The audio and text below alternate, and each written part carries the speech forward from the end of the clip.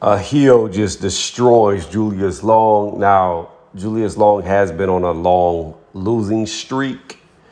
Um, I'm not quite sure how many he's lost in a row. I want to say it's like four or five in a row, and I know he's had like a a draw in there. I think he's lost four in a row and had a draw. I know he had a draw before he fought uh, Ahio, but anyways, back to this fight. So don't forget, subscribe, hit the thumbs up, hit the bell. Yeah, yeah, yeah, I know. A lot of videos saying that. But here we go. So in this fight, Julius Long, this is the thing with, with these big boys like this, okay? When you got a guy who is short, like a Ahio, right?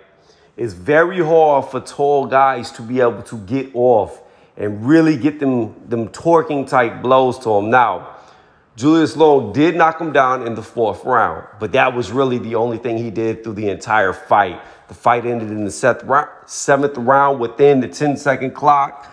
I want to say probably like four or five seconds left on the clock before the bell would have rang. So it was at the very end of the seventh round that Ahio finally knocked him out, but he was hitting him with hard shot after hard shot after hard shot after hard shot after hard shot. But again, my point was this. When you have these short heavyweights that get underneath these big tall guys, it, this right here is like Mike Tyson isk. When you can do that, tall guys cannot torque their body back to get any type of power off with their shots. So it's very limited.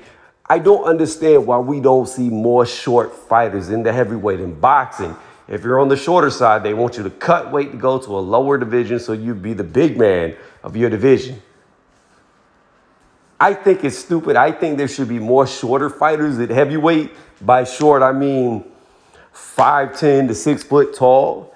There should be a lot more because you can see the same thing happening. A 5'10 guy would look just like this underneath AJ it, it gives a different dynamic that the tall guys are used to seeing because there's no short fighters that fight in the heavier divisions like that. So that's what I saw. But overall, good fight. Ahio, like I said, he was knocked down in the fourth round, but he got up pretty quickly. It was more like a flash knockdown.